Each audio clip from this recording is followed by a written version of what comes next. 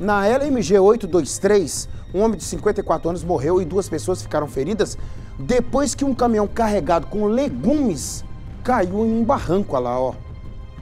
Nossa Deus. É. Agradecer a turma do Diário de Caratinga, da Doctor TV pela sessão das imagens. O Miguel Braço que vai me contar. Miguel, Miguel, é acidente para todo lado, Miguel. Boa tarde para você, meu amigo. Nico, boa tarde para você, boa tarde a todos que estão conosco. Este acidente foi ontem à tarde, né, nesta rodovia que liga os municípios de São Domingos das Dores a Inhapi, que inclusive é uma rodovia que constantemente acontece acidente. A vítima foi identificada como Armindo Ferreira do Nascimento. De acordo com informações da Polícia, Rodo... da Polícia Militar Rodoviária, Testemunhas contaram que o veículo apresentou um problema mecânico, ou seja, ele perdeu os freios, saiu da pista e caiu em um barranco dentro de uma propriedade particular. As outras duas pessoas que estavam no veículo conseguiram sair, mas infelizmente Armindo morreu no local.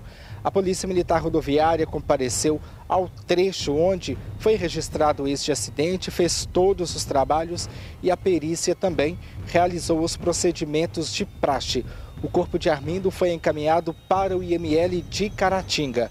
Já as outras duas pessoas feridas foram levadas para o hospital de Inhapim.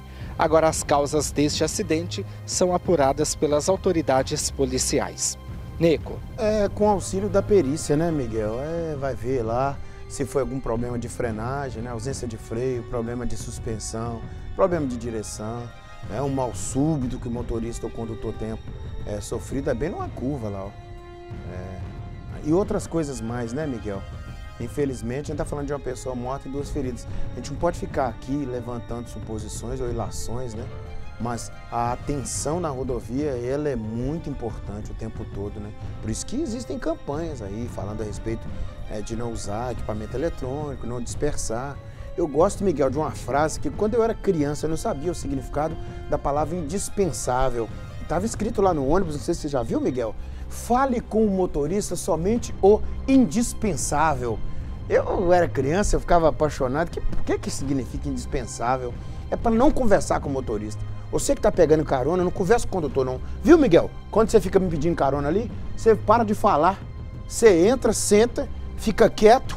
Eu vou parar lá onde eu sei que você vai de parar, descer e você vai embora. Agora fica. É o Albuquerque Júnior é isso, o Gabigol é aquilo outro. Enchendo a minha cabeça, eu corrijo, bater o carro. E quem vai morrer é você que vai bater do seu lado. Você entendeu como é que funciona, Miguel?